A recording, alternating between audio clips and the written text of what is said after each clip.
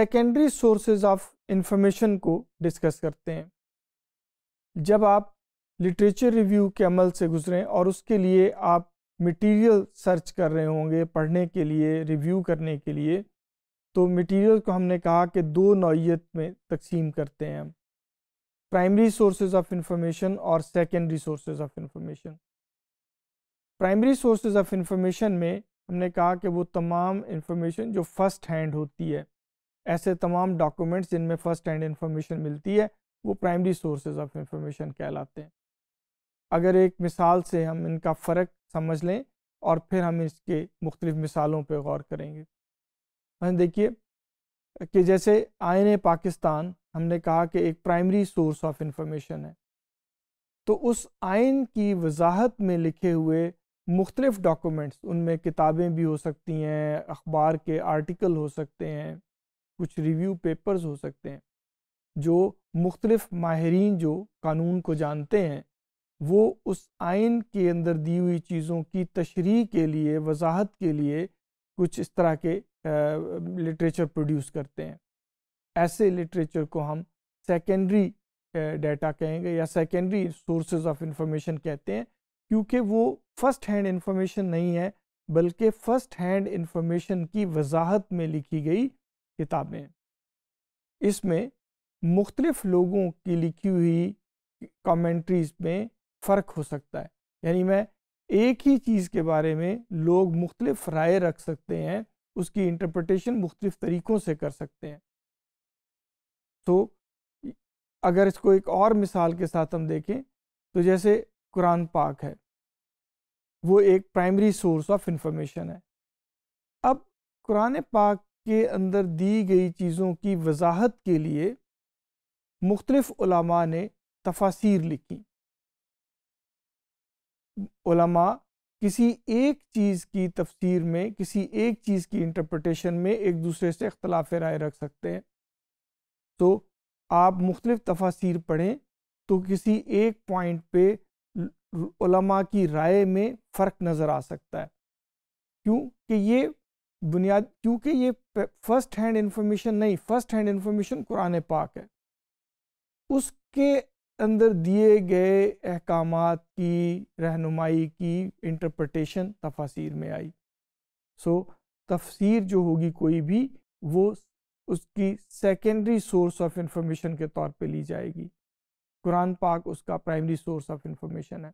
तो अब इससे एक बात जो समझने की है कि हम ऑथेंटिसिटी के लिहाज से जब ये कहते हैं कि primary source of information authentic होते हैं, उनको ज़्यादा प्रेफर करना चाहिए अगर आपको इस्तेमाल करने हो तो उसके पीछे एक बड़ी वजह यही है कि वो फ़र्स्ट हैंड इंफॉर्मेशन है।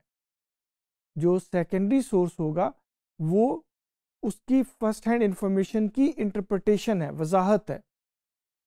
तो लिहाजा ये उसके मुकाबले में अपनी ऑथेंटिसिटी के लिहाज से उस दर्जे पे नहीं होता। लेकिन क्रेडिबल इंफॉर्मेशन होती है ये भी। ये मुख्तलिफ़ लोगों का नुक़ नज़र हो सकता है, जो कि किसी एनालिसिस की बेस पे किया होता है।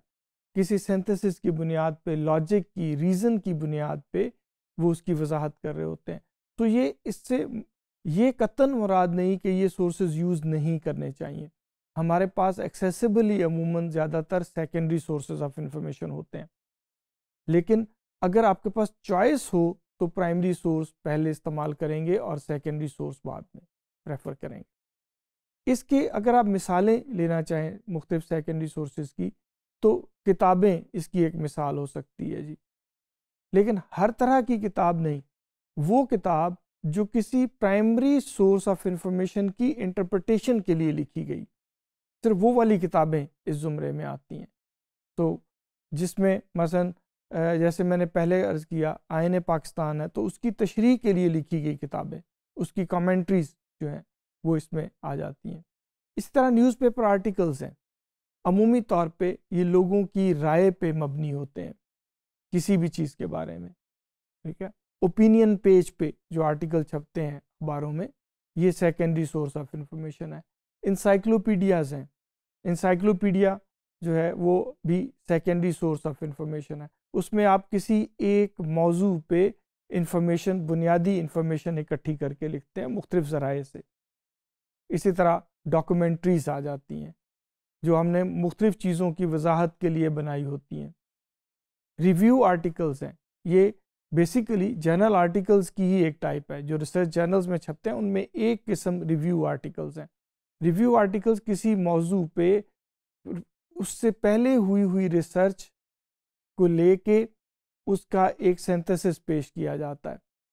किसी भी क्वेश्चन के अराउंड तो ऐसे तमाम आर्टिकल्स जो रिव्यू की सूरत में लिखे जाते हैं, वो भी सेकेंडरी सोर्स ऑफ़ इंफॉर्मेशन में आएँगे। स्टेटिस्टिकल कंपाइलेशंस हैं जी। स्टेटिस्टिकल कंपाइलेशंस ये हैं कि एक बेसिक स्टेटिस्टिकल डाटा कोई ऑर्गेनाइजेशन जनरेट करती है। मसलन ब्यूरो ऑफ़ स्टेटिस्टिक्स पाकिस्तान में बुनियादी डाटा फ़र्ज़ कर लीजिए यूथ के बारे में यूथ की स्किल्स के बारे में लिटरेसी रेट के बारे में एजुकेशन की क्वालिटी के बारे में डेटा इकट्ठा करते हैं मुल्क से। और फिर उस डेटे को इस्तेमाल करके हम मुख्तलिफ़ तरह की रिपोर्ट्स जनरेट करते हैं।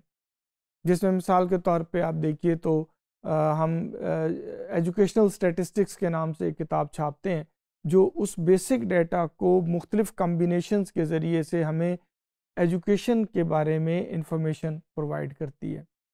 एनालिसिस करके देते हैं कि हमारे डिफरेंट लेवल्स पे एजुकेशन के क्या हालात हैं। तो वो बुनियादी तौर पे रॉ डाटा नहीं होता, बल्कि उस रॉ डाटे को इस्तेमाल करते हुए आप मुख्तलिफ़ तरह की रिपोर्ट जनरेट करते हैं, जो आपके सिस्टम को गाइड कर सकें। तो स्टेटिस्टिकल कंपाइलेशंस इस, इन इन चीज़ों को कहते हैं। ये भी सेकेंडरी सोर्स ऑफ़ इंफॉर्मेशन है। कॉमेंट्रीज मुख्तलिफ़ तरह की। आप किसी भी देखते हैं कि लोग किसी मौजू पे अपनी राय का इजहार करते हैं। उसके मुख्तलिफ़ पहलुओं पे अपनी अंडरस्टैंडिंग के मुताबिक रोशनी डालते हैं। तो इसके लिए बनी हुई को, कोई ऑडियो की शक्ल में वीडियो की शक्ल में रिटर्न बुक्स की शक्ल में पेपर्स की शक्ल में कमेंट्रीज जो हैं वो छापी जाती हैं। और ये भी basically secondary source of information है। ये मैंने चंद मिसालें सेकेंडरी सोर्स ऑफ़ इन्फॉर्मेशन की आपके सामने रखी, लेकिन ये कोई एग्जॉस्टिव लिस्ट नहीं है। इसके अलावा और भी बहुत से ज़राए हैं जो कि इस, इसी में फॉल करते हैं। बात सिर्फ़ इतनी सी अहम है जो जहन में रखनी है कि ऐसे तमाम डॉक्यूमेंट्स किसी भी शक्ल में हो ऑडियो वीडियो किसी भी मीडिया फॉर्म में पाए जाते हों। वो तमाम डॉक्यूमेंट्स जो प्राइमरी इंफॉर्मेशन की इंटरप्रटेशन के तौर पे लिखे जाते हैं वो तमाम डॉक्यूमेंट्स जो होंगे, वो तमाम ऑडियोज़ वीडियोज़ वो सेकेंडरी सोर्स ऑफ़ इंफॉर्मेशन कहलाते हैं।